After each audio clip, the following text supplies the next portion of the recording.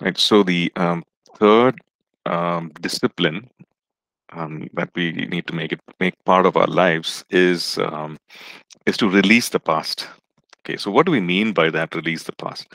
You know, the thing is that as um, human beings, the way we are created, right? We, uh, you know, what we have here, our memory, our mind is so powerful, right? We remember so many things. At the same time, we also forget, you know, something, some important things. Um, so, whatever we've been through in the past, in the recent past or the distant past, whatever, um, we remember, right? Certain things that have happened to us, what people have spoken, um, you know, certain things are just there, and um, and also disappointments, hurts, right? Uh, the way people, some people maybe things that they said which hurt us.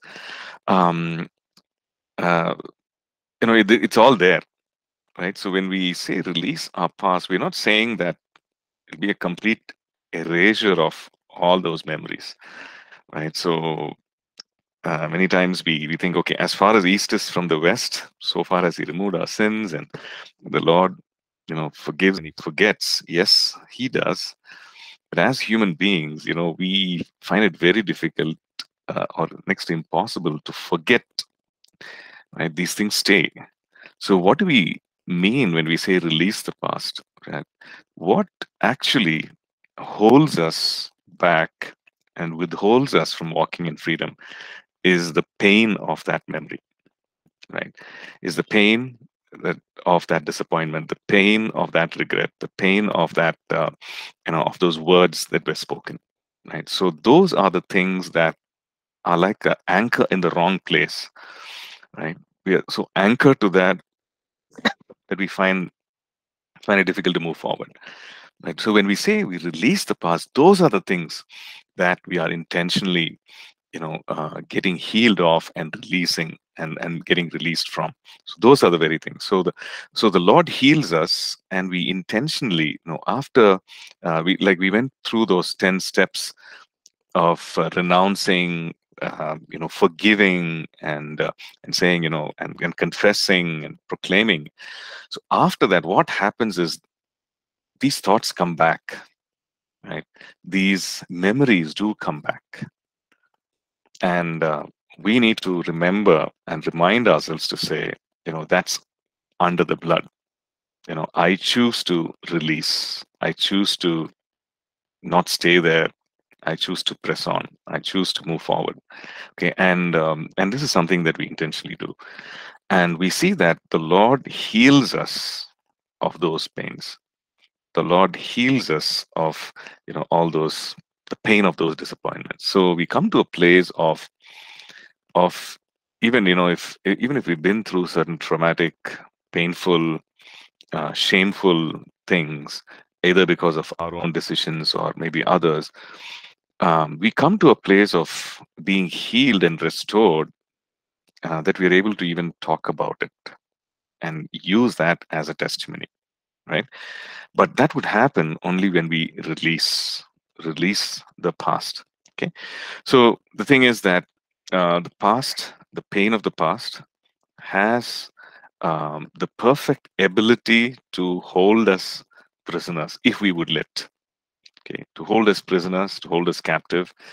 So we we are unable we are uh, we have don't don't have that ability to move forward into the promises of god okay? For example maybe you know we we failed miserably academically okay uh, regarding our studies you know we failed and uh, messed up uh, didn't make use of opportunities that were given to us or that were there before us. We messed up. Okay so and we are in a certain place you know in life.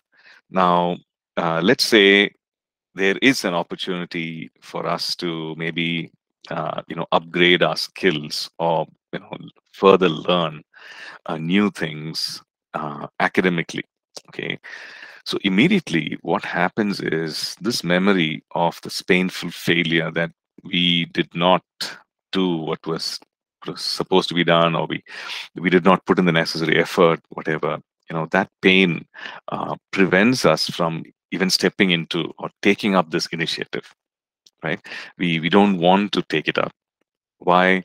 Because you know we messed up that time, or we messed up those three or four times, so we cannot. You know that is that is a reminder. You know uh, uh, that is the notification we get. You know don't don't take up because you cannot. Don't take up because you failed in the past. So so we we we consciously make a choice and i'm not going to take it up because this is what happened in my life and so i'm just going to i'm not going to venture into those things again right um, so what has happened here? The the pain of failure the pain of uh, maybe shame of failure whatever is is holding us back right? So that needs to be intentionally we need to release ourselves from it. Um, so how do we do that? How do we um, you know is, is, so this, this is just one thing right? This, so there could be countless um, things countless things countless uh, memories that uh, really prevent us. So we need to really process that with the lord you know, that's why our time with the lord is so important and and um, he actually reminds us he would remind us he would show us if we are sensitive say hey this needs to this is actually under the blood. Why are you still holding on to it? Why are you anchored to the wrong thing? You know you need to be anchored to the truth. Okay? And uh, and a couple of examples that we see in scripture uh, one is that of jacob. Okay jacob we know the story. He had cheated esau of the birthright he ran away spent time with uh, his uncle and um, now he was coming back as a married man and uh, he was coming back um, with with a lot of wealth. Actually, God has prospered him, and and he's coming back. And uh, he was the next day. He's you know he's he's supposed to be meeting Esau, uh, or the next day, or you know eventually he's going to be meeting Esau. But um, now he is um, he is scared, right? Uh, and he's he cries out to God, and uh, and he hears that um, uh, he, he gets news that Esau's coming to meet him, and he's not just coming to meet him alone. He's coming with a you know whole bunch of people, um, and so he is naturally he's afraid. Uh, will Esau hold it against him? Will Esau, um, you know, uh, so you know everything in the natural. He's, he's so afraid uh, about this whole situation right so then then we read about what happened that night when he wrestles with god when he en encounters uh, god and he and he's in, you know he just uh, engages with god and he says god i will lord i will not let go until you bless me okay and then we see that he is given a new name that he is the name is changed from jacob which means the one who cheats to israel the prince with god right god gives him um, literally a new identity. Right? With that name change comes uh, everything that is associated with the name, the truth that is the, the, of the name you know, becomes his identity. And then he goes to meet Esau with a new identity. Okay, so there's a lesson there for us that when we meet or when we are faced with challenges, okay, when we are faced with the things of the past, um, we do not meet them or we do not face them with our old identity right?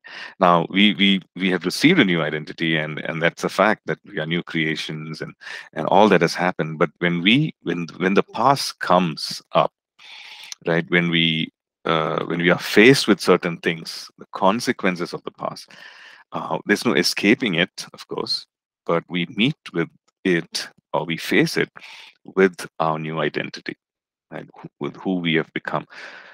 So with our new identity, we our relationship with God has changed. Our relationship with other people has changed. The way we relate to them has changed.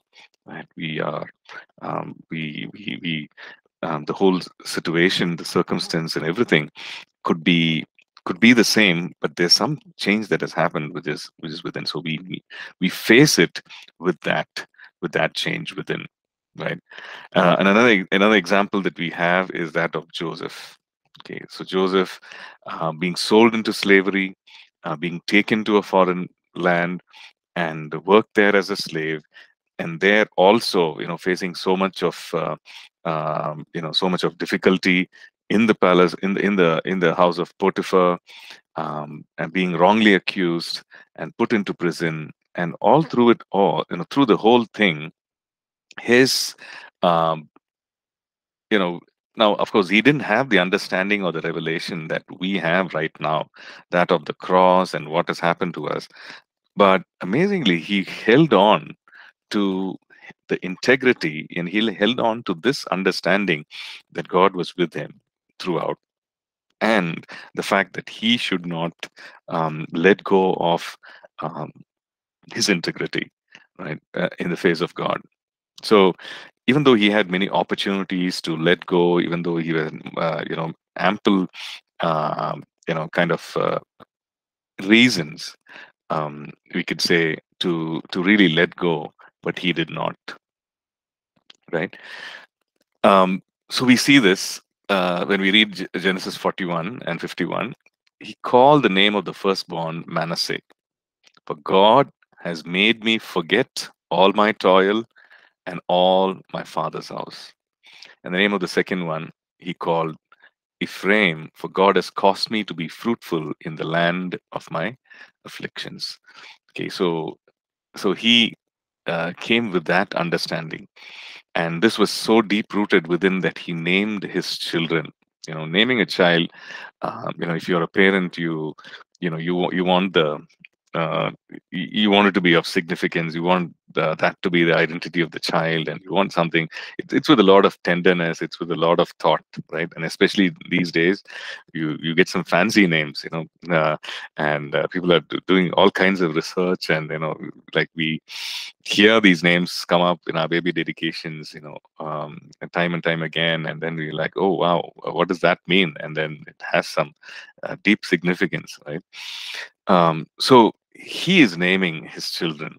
Okay, he's naming his firstborn as Manasseh and secondborn as Ephraim, and it is to do with all that, all the years that he has, whatever has happened in the past, everything is contained in that name, and it it just reminds him over and over again this is what has happened right? Um, that uh, god has made me forget that god has caused me to be fruitful in the land of affliction. So even before that, when we, you know, when we see the interaction that he has with his brothers, we see that wow, you know, there's there's so much of freedom uh, in his life. He meets with his brothers, and he says in verse 19, Genesis 15, verse 19, uh, what we see on the screen, you know, do not be afraid, for am I in the place of God? But as for you, you meant evil against me, but God meant it for good in order to bring it about as it is in this day to save many people alive. Therefore, do not be afraid. And he goes on to say, I will provide for your needs, for the family, and so on, uh, because it's famine, right? So uh, we see he faces, uh, I mean, God vindicates him in an amazing way. God has raised him up, uh, and uh, he faces what has happened. You know, his uh, the people who had caused him harm. So he's so healed on the inside that he's able to face them. He's so healed on the inside that he's able to return, uh, you know, um, return with a good deed, even though they had actually they had messed up his life. So he, he he somehow had the understanding that God will turn things around. Yes, this is what he's going through, but God will turn things around, and God did turn things around. Okay. So some practical things, you know, we, we see these examples, great examples in scripture.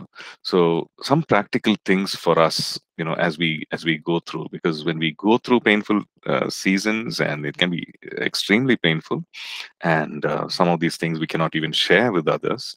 Um, and I mean, in the sense, others may not understand, even though we share it, the extent of that pain, right? But um, but the thing is to to heal and to move to heal and to move forward. So, okay, so how do we do that practically? Right? How do we do that? How do we face that? Um, this is something that uh, we can do. Okay, first thing is to give up our right. Okay, give up our right to hold our past. Okay, very important because we we actually hold it, it, is, it is because we feel that we have a right to hold on. Uh, maybe it's a grudge uh, maybe it's um, some kind of a you know bitterness. We feel that we have a right to hold on. We have a right to um, hold on to these emotions. We have a right to hold on to how we feel. Uh, we have a right to uh, uh you know hold on to those instances and everything um, for the simple reason that we feel that we feel that we have been wronged. And, and some of these things are against god himself right? Um, we're angry with god. If you're angry with god and, and say you know how can you? How could you god? How dare you god? After all that i've done and after all the way that i've lived how could you right? Be angry with him. But uh, we need to understand that as long as we are in that place of holding on you know i have a right to be angry. I have a right to have this uh, thing against this person. I have a right to be unforgiving uh, against this person for all that he or she has done. As long as we uh, have that mentality we cannot move forward. Okay? So there's no question of releasing the past because it's a very deep anchor uh, right there. So so what is the solution? Of yeah uh, Divya has a question. Yes, Divya. Thank you, thank you, Pastor. Uh, I, uh, in in terms of releasing the past, uh, yeah. if um, there are situations where uh, your trust has been breached, um, and it's nothing like you have anything against the person or mm. uh, you have released forgiveness for them, but uh, still um, to reestablish a relationship like earlier would would be really difficult right uh, Yep. because uh, we uh, because uh, there won't be a clarity um, basically uh, uh, whether the same thing could happen again so so is that wrong to Mm. um, Yeah. when, when we say releasing the past Right, right. Yeah, it's a very valid uh, point in the sense, uh, okay, we release the past. You know, personally, we've done, we've forgiven, um, we've released the person, but um, do we reinstate the person to the same, you know, level of relationship of trust and transparency and so on?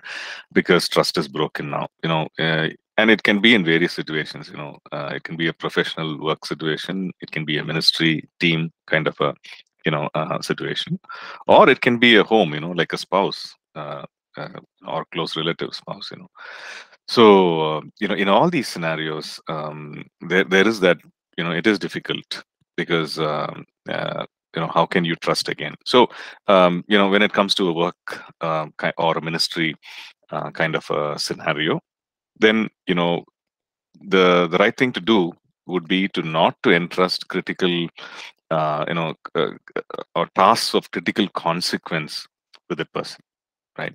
Uh, because now trust is broken let's say you know if the person has uh, swindled some money now you're not going to put that person in charge of handling finance again okay?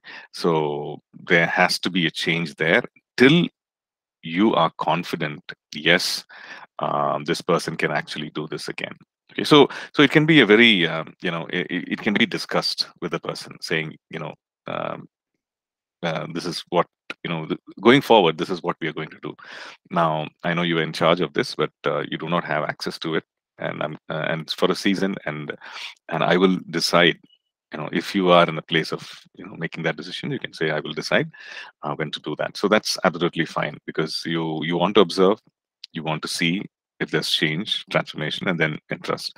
Same uh, in uh, in a if it's going to be a close relationship you know trust is broken then um, definitely you know with the forgiveness with the you know if it's mutual in the sense you know if you're you know with a with a spouse or a close relationship uh, relationship uh, a close relative or a family member then it even it becomes even more complex right? So at one level you know we can say okay uh, you know you uh, both of uh, i mean the person has uh, repented person is uh, uh, you know feeling sorry for what he or she has done and uh, you know wants to get back to uh, you know how things were.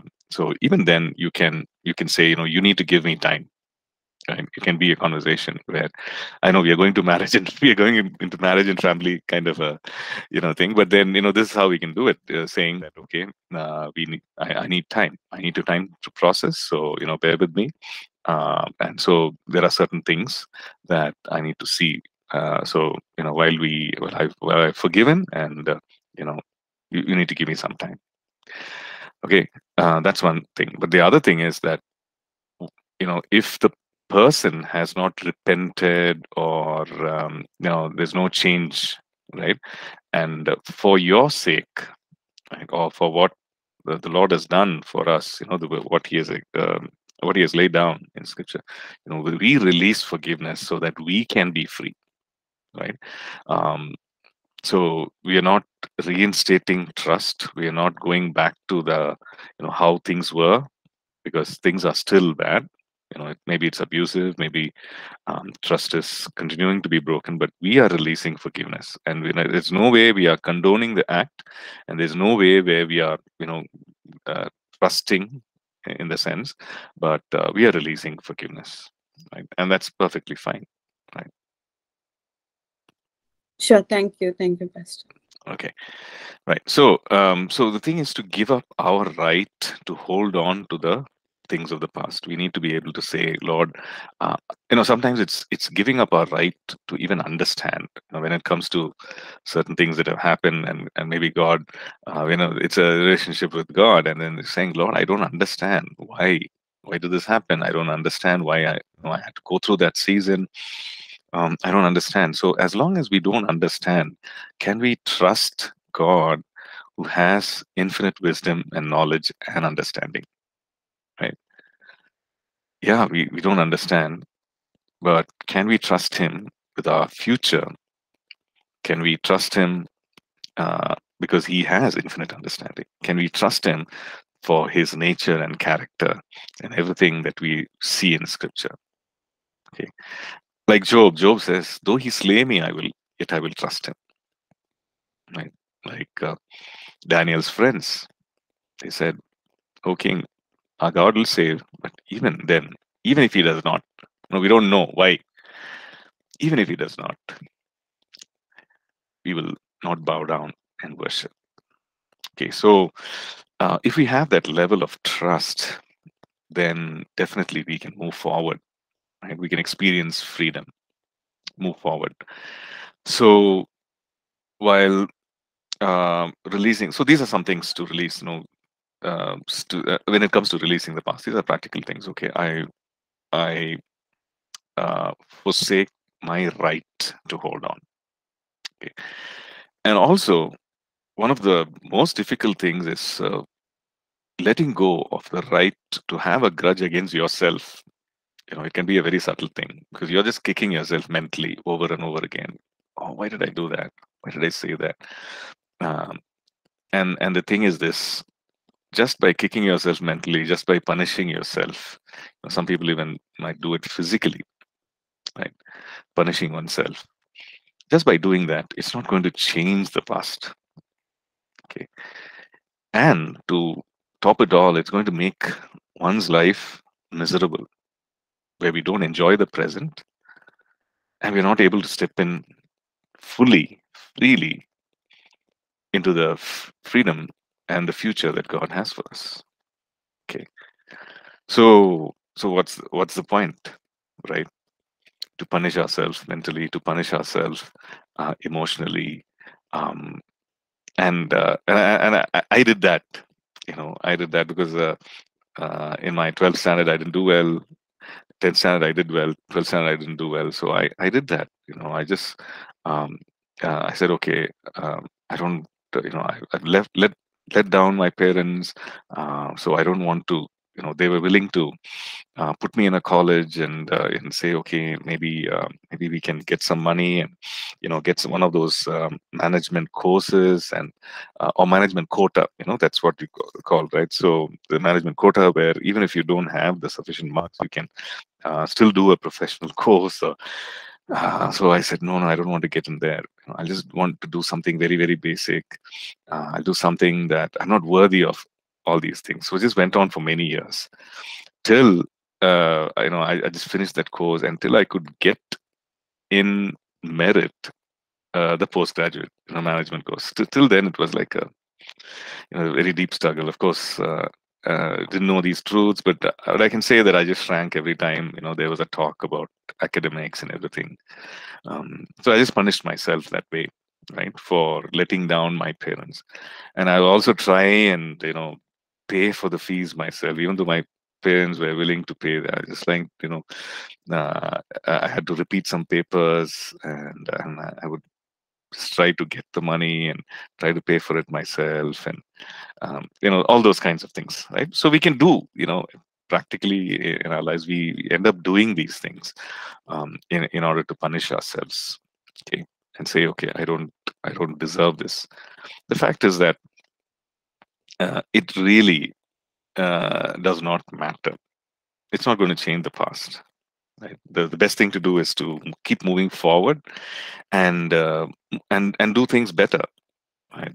And do things better and uh, uh, and uh, and see and walk into all that god has right? So it's about releasing ourselves as well giving up the right um, to hold things against ourselves as well okay? The second thing practical thing that we can do is to place our past into god's hands okay. To play plays the our past you know some of our maybe for some of us it's it's it's all been fine. It's all been nice happy you know great. But for some of us it's it's really checkered with a lot of challenges a lot of trauma um, a lot of difficulties. Okay. Now can we place that you know the consequence of the past the pain and hurt and everything that has happened can we place it in god's hands? Okay um, i remember a you know uh, and a story uh, i mean the real uh, real life story of course uh, of this person who who actually married, murdered his own relatives right? He was thrown in prison uh, murdered his own relatives in prison became a believer okay? And he and he vowed to do something for people like him who are in prison um, and uh, who who cannot um, you know who cannot undo the past right? So started ministering. And so um, when we look at you know such lives we see that the only thing that you can do you know you can't go back you know when you if you meet your family if you meet your relatives you're always reminded right? You're always reminded of what you have done the consequence of that action you know is is always there. So the only thing that you can do to overcome is to place that all that has happened. You know you, you see the enormity of that right? Uh, whole thing. To place that in god's hands. I'm reminded of you know um, uh, even the uh, uh um, even apostle paul right? Even apostle paul the way he persecuted the church and and uh, and and he comes to a place of saying that you know forgetting those things that are behind i press on. Okay. forgetting those things that are behind i press on. So we need to place that past into god's hands. We need to absolutely do that um, because he remembers he is i mean he for, he forgives he remembers them no more and he has promised to make everything new. Okay. So let's let's read uh, some of these scriptures you know uh, psalm 103 and verse 12 okay psalm 103 verse 12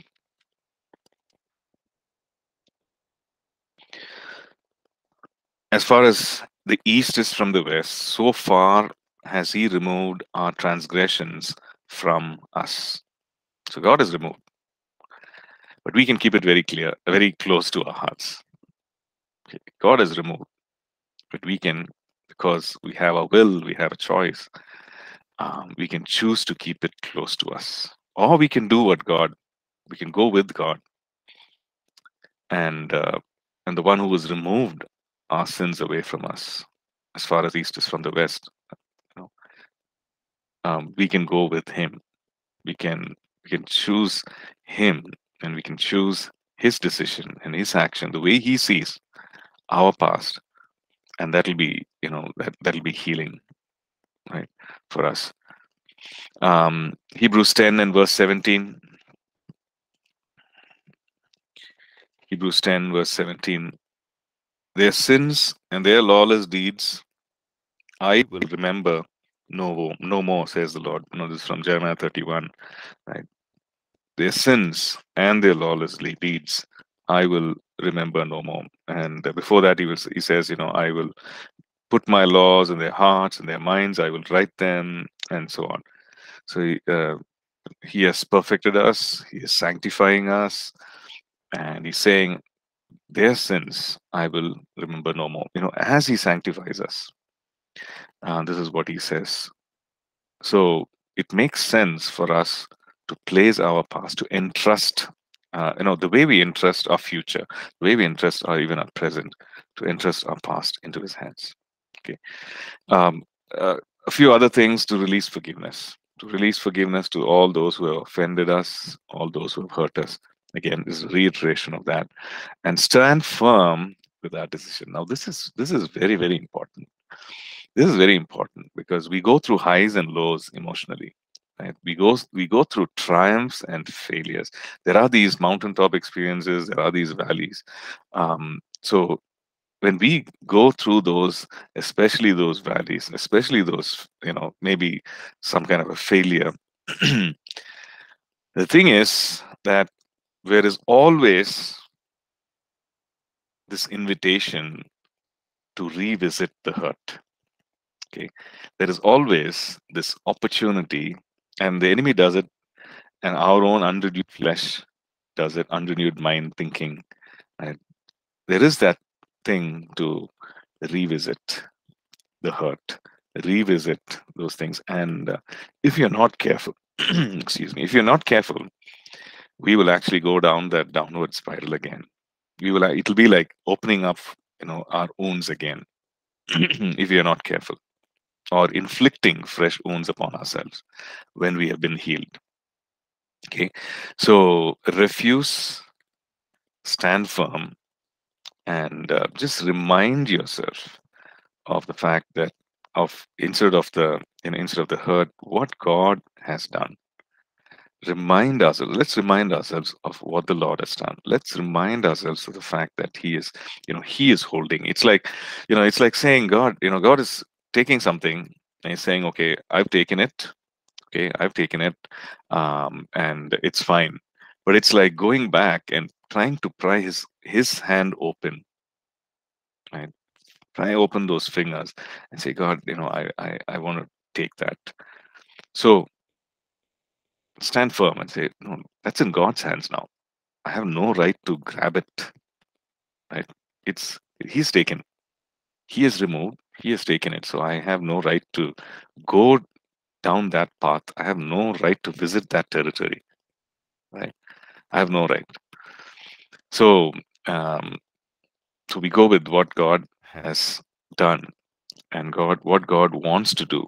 Okay isaiah 43 verses 18 and 19 do not remember the former things. This is the lord's exhortation right? Do not remember the former things nor consider the things of old. Behold I will do a new thing, and it shall spring forth. Shall you not know it? I will even make a road in the wilderness and rivers in the desert. I, even I, and he who blots out your transgressions for my own sake, and I will not remember your sins. So this is the promise of God. He's saying, do not remember. The Lord is saying, do not make a you know make a choice to think on, to to remember, to go back to those things and to ponder on those things. So he's saying, remember, consider. You know, do not remember, nor consider. Consider is you know when you give it some weightage, right? When you uh, when we take some time to consider, think about, uh, give it some importance, and give it some time and put in some effort. That is when we consider the things of you know, consider something. So the Lord is saying, do not remember nor consider. Okay. And and the reason is this he's saying, I will do a new thing. I will make a road in the wilderness. You know, even though our present seems to be like a wilderness, it, our present situation, circumstance, environment seems to be uh, desert like or like a wilderness. He's saying, you know, I will make I, even I am He. I will even make a road in the wilderness and rivers in the desert. Rivers, they will be refreshing for you, you know, even in that kind of a uh, situation. Right? So he's saying, I'll make rivers in the desert. And I'm the one who blots out your transgression for my own name's sake. And I will not remember your sins. Okay. So there's great reassurance. There's great reassurance from God Himself. And if we would go back to remember and consider and revisit, you know, it's an act of pride. You know, we might actually say, okay, I'm pitying myself, but it's actually self-pity. Self-pity is actually an act of pride. You're placing, you know, we are placing ourself even higher than God. Think about that, right? We're placing ourself um, it, but it's it comes cloaked in an act of humility. It's like you're humbling yourself when you revisit those hurts. It's like I'm we're punishing ourselves, but actually the self is bigger in magnitude. You know, you're just magnifying the self bigger than what God is saying or what God has done. So it's a it's a very subtle pride, and and uh, you know we have no right to do that right?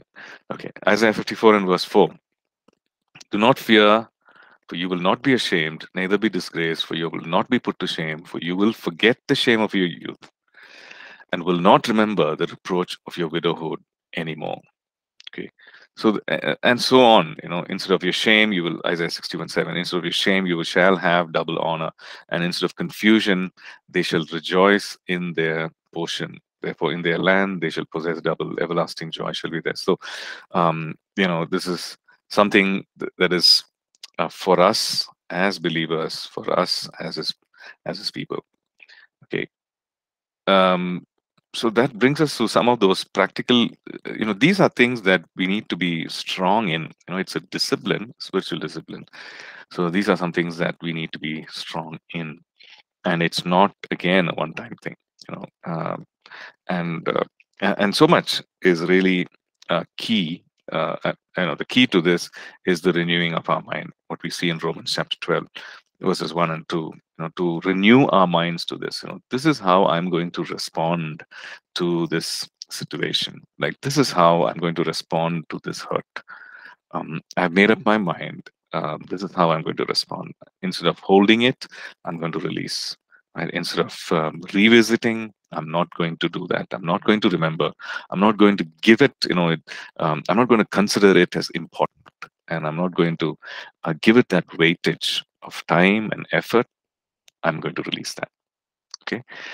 Okay so next we we look at uh, four more things that uh, when it comes to staying emotionally whole. Of course uh, some of these things we we looked at in those um, 10 steps uh, four more things, and uh, yeah, I think we can just go through this list. Um, renouncing lies with the truth of God's word.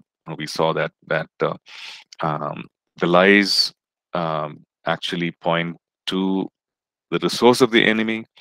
It's uh, something that is um, uh, totally opposite, or you know, it's it's something that is mixed with truth. It could be that also, but it's something that um, that the enemy brings in. Right. So we renounce that. How? With the truth of God's word. Okay. So we we go with God, what God is saying. We go with God, what God is prescribing, and what God is suggesting, and what He's inviting us to. Right. So that's how we renounce. We renounce the lies, but we also go with the truth of God's word. So it's very important. Right. So we speak blessing, cancel curse. Okay. We and we guard ourselves against negative emotions okay? And uh, we practice the power of forgiveness. Now we, we look at it um, uh, maybe points two three and four um, we'll look at it in detail. We'll go with it. Uh, i mean we just go through that. Uh, the first one of course we'll we'll you know we'll just mention that. Um, but the second third and fourth we will we'll go through it and how we can speak blessing in order to cancel the curse right and uh, we'll see that. Okay, so we'll we'll stop here for today, and um, we'll continue in our next class. Okay, thank you so much. God bless. Thank you, Pastor.